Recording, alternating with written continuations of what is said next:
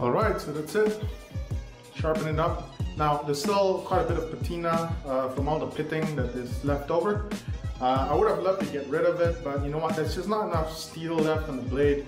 I don't want to thin it out too much, especially not prematurely. Uh, it does look a little bit pockmarked uh, from that uh, pitting and patina, but you know what, it's not going to affect performance. Uh, that's not rust, it's again patina, it's not going to come off and get into your food.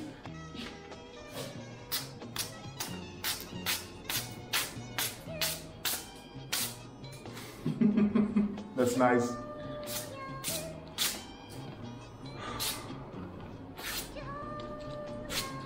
Always fun to do, but you know what? As usual, we're gonna do a heel the tip. Uh, you know, uh, that's just a QC that we do.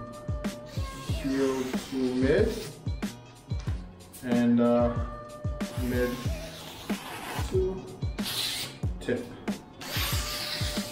tip. There we go.